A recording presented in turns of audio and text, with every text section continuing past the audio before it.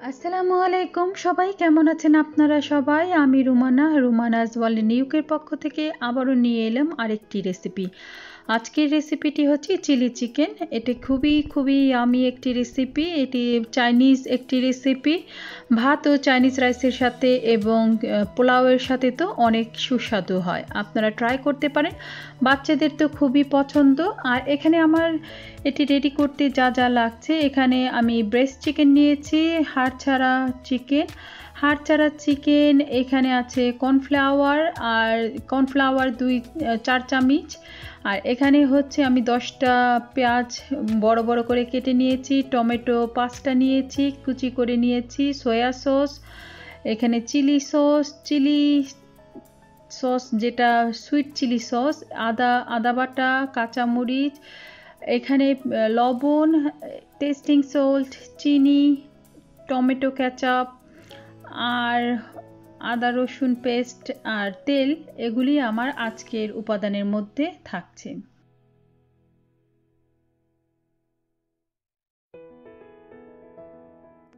প্রথমে একটি আমি হাঁড়ি নিয়ে নিলাম, আর এখানে আমি চার টেবিল চামচ তেল নিয়ে নিচ্ছি। চার টেবিল চামচ তেল, এখানে আমি হাঁড়িটা একটু শুকিয়ে গেলে দেব। এবং আমি যে চিকেনটা নিয়েছি, চিকেনটা আমি আগে থেকেই একটু সয়া সস দিয়ে ম্যারিনেট করে রেখেছি দুই ঘণ্টার জন্য। আর এখানে আমি দুই কেজি চিকেন নিয়েছি, ব্রেস্ট চিকেন যেটাকে বলে। আমি দুই কেজি চিকেন এখানে আজকে কুক করে আপনাদের সাথে শেয়ার করব। এখানে প্রথমে আমি চার টেবিল চামচ তেলটা দিয়ে দিয়েছি। তেলটা আমার গরম হয়ে গেছে। তেলের মধ্যে আমি একটু হালকা করে লবণ দিয়ে দিয়েছি। এখন এটা আমার আগে থেকে ম্যারিনেট করা যে চিকেনটা আমি সয়া সস দিয়ে ম্যারিনেট করে রেখেছি, সেটা আমি একটু ভেজে নেব। কারণ চিকেন থেকে অনেকগুলো পানি উঠবে, সেই পানিটা আমি শুকিয়ে নেব। এখন আপনারা দেখতে পাচ্ছেন আমি পানিটা শুকানোর জন্য তেলের মধ্যে চিকেনটা দিয়ে দিয়েছি। এখানে আমি সাথে কিছুটা কাঁচামরিচ দিয়ে দিয়েছি। এখন আমি একটু ভালো করে নাড়া দিয়ে নেব। আর যত পর্যন্ত পানিটা একটু ড্রাই হয়ে যাবে, দেখুন পানি অনেক উঠেছে চিকেন থেকে। আমি এটা ড্রাই হওয়া পর্যন্ত একটু ভাজবো, আর সাথে এখন আমি লবণটা দিয়ে দিচ্ছি। লবণটা আপনারা পরিমাণ করেই দেবেন, কারণ এখানে সয়া সস আগে থেকে দেয়া আছে, তাই আমি প্রতি ধাপে ধাপে লবণটা চেক করব কীরকম হয়েছে। এখন আমি আঁচটা ফুল ভিমে দিয়ে দিয়েছি, এখন ফুল ভিমে বা আঁচটা দিয়ে আমি এটাকে ভাজা, ভাজবো। যতটুকু পানিটা ড্রাই হবে, তখন আমি পেঁয়াজ এবং অন্যান্য সব কিছু আস্তে আস্তে দিতে থাকব।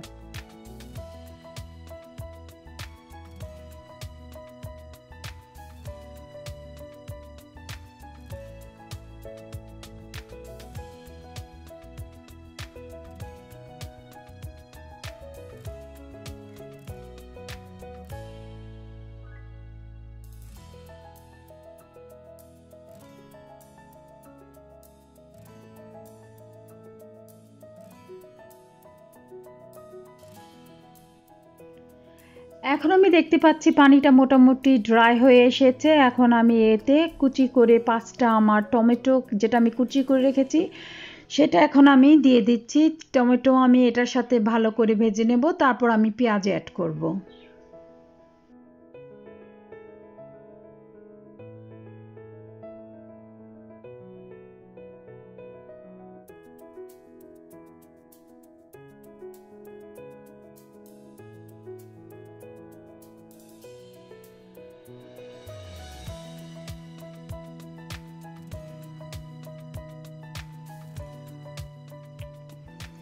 দেখতে পাচ্ছেন এখন চিকেন থেকে অনেক পানি হয়েছে এবং টমেটোটা দেওয়ার সাথে সাথে আরও পানিটা বেড়ে গেছে।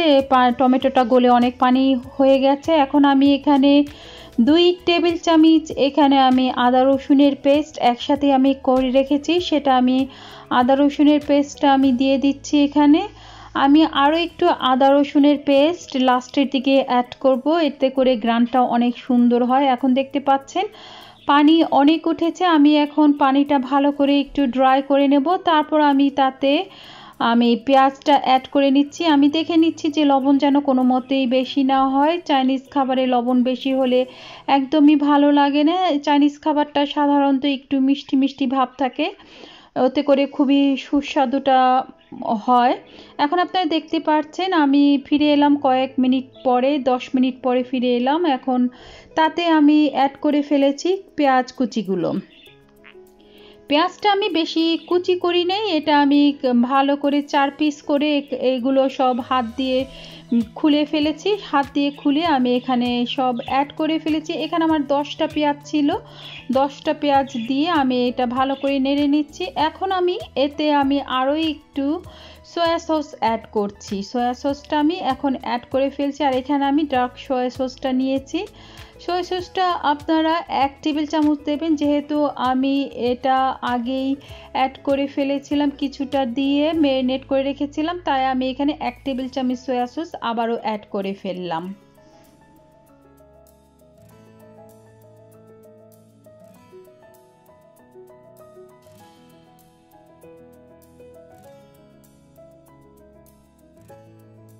এখন আমি এখানে অ্যাড করব দুই টেবিল চামচ টমেটো ক্যাচাপ আর দুই টেবিল টমেটো ক্যাচাপ আমার দুই কেজিতে লাগবে। আপনারা যতটুকু চিকেন রান্না করবেন সেই পরিমাণ অনুযায়ী আপনারা এগুলো কম বেশি করে নেবেন। আমি এখানে দুই কেজির জন্য দুই টেবিল চামচ কেচাপটা নিচ্ছি, টমেটো কেচাপ যে কোনো টমেটো কেচাপ আপনারা নিতে পারেন। এখন আমি নিয়ে দুই টেবিল টমেটো কেচাপ ভালো করে মিক্সিং করে নিচ্ছি, ভালো করে নাড়াচাড়া করে নিচ্ছি।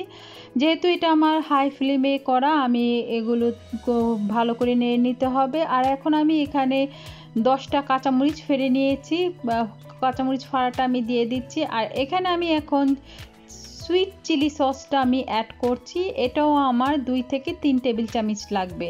আর সুইট চিলি সসটা দিলে খুবই সুন্দর একটা গ্রান করে, যেহেতু এখানে একটু রসুন, রসুনেরও গ্রান আছে, খুব সুন্দর একটা গ্রান হয়। এখন আমি তিন টেবিল চামচ সুইট চিলি অ্যাড করেছি। অ্যাড করে এখন আমি এখানে কিছুটা আমি এখানে টেস্টিং সল্ট ও লবণ দিয়ে নিচ্ছি। এগুলো দেখেছি, আমার লবণটা আরেকটু লাগবে। লবণটা দেওয়ার পরে আমি হালকা একটু পানি দিয়ে নিচ্ছি, যাতে চিকেনটা ভালো করে গলে আসে। এখন আমি দিয়ে ভালো করে নাড়াচাড়া করে কিছুক্ষণের জন্য আমি ওয়েট করব।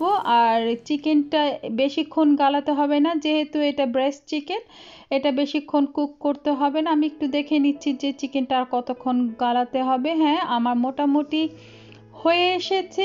আর কিছুক্ষণ পরেই আমি আর বাকি উপাদানগুলো দিয়েই শেষ করব।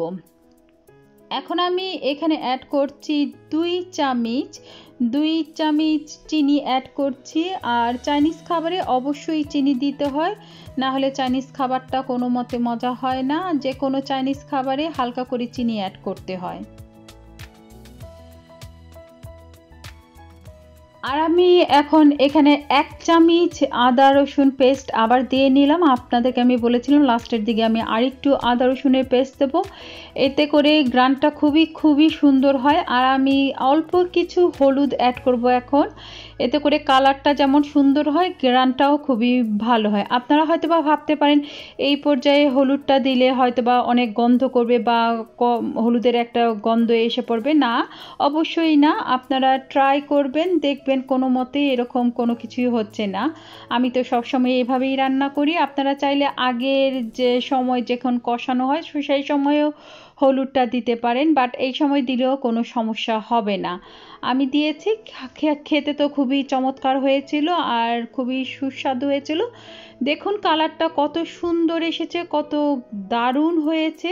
সুন্দর একটা কালার হয়েছে। এখন আমি কিছুক্ষণের জন্য ঠেকে দিয়েছি।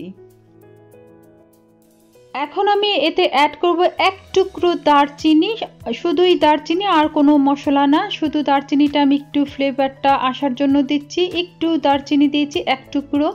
আর এখন আমি ভালো করে নাড়া দিয়ে নিচ্ছি, নাড়া দিয়ে এখানে আমার যেটা মেইন এই চাইনিজ খাবারের জন্য কর্নফ্লাওয়ার সেটা আমি আগে থেকে গুলে রেখেছি। এখানে আমি দুই টেবিল চামচ দুই টেবিল চামচ একটু পানি দিয়ে ঠান্ডা পানি দিয়ে গুলে রেখেছি কর্নফ্লাওয়ারটা। আপনারা দেখতে পারেন যখন কি পরিমাণ ঘন হয়, সেই পরিমাণ অনুযায়ী আপনারা কর্নফ্লাওয়ারটা অ্যাড করবেন। আমি এখানে দুই টেবিল চামচ কর্নফ্লাওয়ার গুলে রেখেছি পানি দিয়ে, আর আমি এটা আরেকটু পরেই অ্যাড করে ফেলব।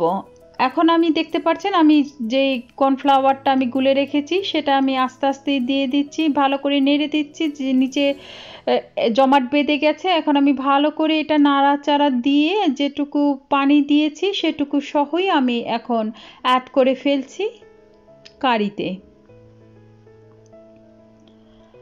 আর কর্নফ্লাওয়ারটা দেওয়ার সাথে সাথেই ভালো করে নাড়তে হবে। কর্নফ্লাওয়ারটা থোকা বেঁধে যাবে। এটা কোনো মতেই স্টপ করা যাবে না, ভালো করে নাড়া দিয়ে। আর বেশিক্ষণ চুলাতেও রাখা যাবে না। কর্নফ্লাওয়ার দেওয়ার পরেই রান্নাটা শেষ হয়ে যায়। আর এটা একেবারে লাস্টের দিকে দিতে হবে, না হলে এটা অনেক ঘন হয়ে যাবে। এটা একটু ঘনত্বটা বাড়ানোর জন্যই দেয়া হয় এবং স্বাদটাও অনেক ভালো হয়। দেখুন, আমার টমেটো ক্যাচাপ এবং সব কিছুর কালারে খুবই সুন্দর হয়েছে কারিটা, চিকেন চিলি। চিকেন চিলিটা আসলে খুবই পছন্দ করে, আমার ঘরে তো খুবই ফেভারেট বাচ্চারা খুবই পছন্দ করে। এখন হয়ে গেছে আমার কারিটা রান্না শেষ হয়ে গেছে, দেখতেই পাচ্ছেন ঘনও হয়ে এসেছে। আমি লাস্টের দিকে আরও কিছু কাঁচামরিচ অ্যাড করে নিচ্ছি।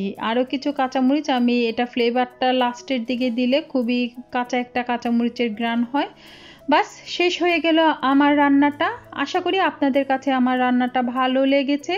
আপনারা ট্রাই করে দেখবেন এবং আমাকে জানাবেন যদি কেউ ট্রাই করেন কেমন হয়েছে। আমার কাছে খুবই মজা লাগে, আমার বাচ্চাদেরও খুবই ফেভারিট তাই আমি যে কোনো ওকেশনে ভালো ওকেশনে আমি এটা রান্না করি, ঈদ বা জন্মদিন বা কোনো কিছুতে, এর জন্য আমি তখন রেডি করে থাকি। আর এটা আমি আমার ছেলের জন্মদিনে করেছিলাম, খুবই মজা হয়েছিল, খুবই ভালো হয়েছিল। এখন আমি দারচিনিটা উঠিয়ে ফেলে দিয়েছি। আমার রান্না শেষ। আশা করি আপনাদের কাছে ভালো লেগেছে। আর যদি ভালো লেগে থাকে প্লিজ আপনারা আমার চ্যানেলকে সাপোর্ট করবেন সাবস্ক্রাইব করবেন লাইক ও শেয়ার করবেন। আপনারা আমাদের পাশে থাকবেন। আপনাদের দোয়া ও ভালোবাসার জন্যই আমি উৎসাহ হই নতুন কিছু করার জন্য, নতুন রেসিপি রেডি করার জন্য। এখন আমি আপনাদেরকে একটি সার্ভিং ডিশে বের করে দেখাবো দেখতে কেমন হয়েছে। দেখুন কালারটা খুবই সুন্দর হয়েছে। খেতে তো অসাধারণ হয়েছিল, দারুণ হয়েছিল ইয়ামি হয়েছিল। আপনারাও ট্রাই করুন, খেয়ে আপনারা পরিবার ও অতিথি আপ্যায়নেও এগুলো ট্রাই করতে পারেন। আশা করি আপনারা এইভাবেই আমার পাশে থাকবেন। যে যেখানেই আছেন, ভালো থাকুন, সুস্থ থাকুন, আপনজনদের কাছে থাকুন। আমি আপনাদের সবার জন্য দোয়া করি। পৃথিবীতে যে যেখানেই আছে, আমি আল্লাহর কাছে দোয়া করি। আল্লাহ যেন সবাইকে ভালো রাখে, সুস্থ রাখে এবং রোগমুক্ত রাখে। আজকের রান্নাটি আমার এখানেই শেষ হলো। ভালো থাকবেন। আবার হাজির হব নতুন কিছু নিয়ে, নতুন কোনো রেসিপি হোক বা নতুন কোনো ব্লগই হোক।